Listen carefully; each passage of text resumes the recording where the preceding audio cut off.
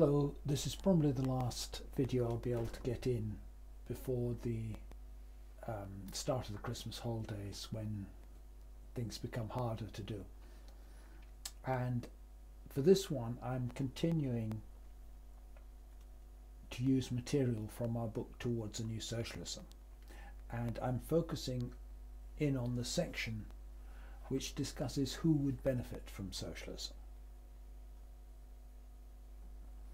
And the basis for looking at this is to ask how much value do workers create per hour. We estimated that in 1987 an hour's labour produced goods and services worth about £7.50. And this meant that if you had payment in terms of labour money, that is to say, people were credited with labour credits equivalent to the number of hours they did and bought things that contained the same number of hours, then the equivalent hourly rate of pay, if you translated it into capitalist money, would have been £7.50 in 1987. How did we calculate this?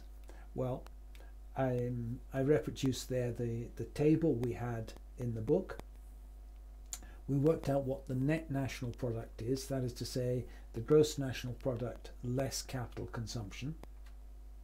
We worked out how many hours labour were performed per year and divided the national product by the hours labour per year to see how much value was added per worker per hour and came to, to just over £7.50. That was a slight underestimate because we assumed everyone was a full-time worker, which is not accurate. But those figures are all a bit old. What would it amount to now? Well, here are some updated figures worked out in exactly the same way.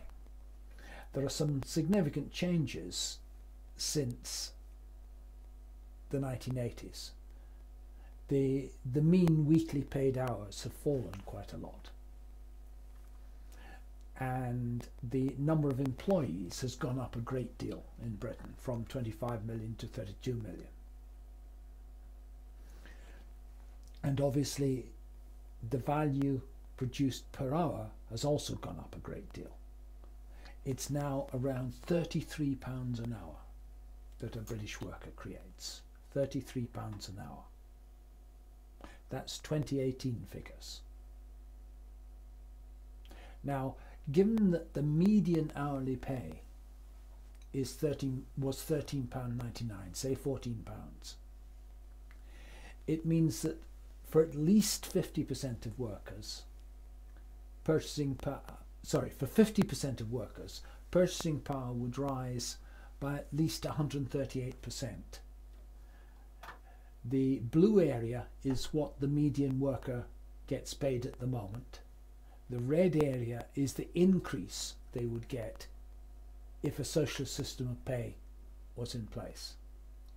Now, this all seems very radical, but it was actually in the original Labour Party programme to give the workers by hand and brain the full fruits of their labour. And that's the scale of increase in workers' wages that would be involved if the Labour Party's old Clause 4 was actually implemented. Now, obviously not everyone gets the, the median wage.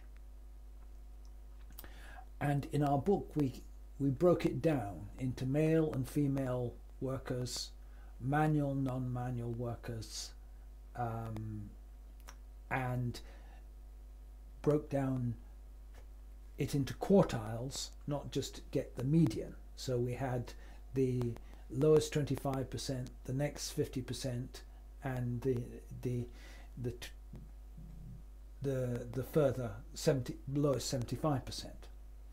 And when we looked at that, the the value created per week was around 300 pounds, and only the top 25% of male non-manual workers were paid more than that. They were therefore the only identifiable group that would lose out for, from a, a socialist system of pay. And firstly, being male, you halve the numbers, so that's at most 12, 12%. Then you knock off all the manual workers, so probably not more than 7% or something would have um, lost out. Certainly a very small minority. Now, is this still the case? Well, I couldn't find an equivalent breakdown